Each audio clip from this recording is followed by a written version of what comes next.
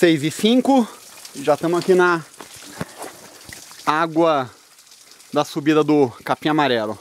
Primeira, primeira pausinha. Isso aí tá lugar show de bola. Vamos continuar.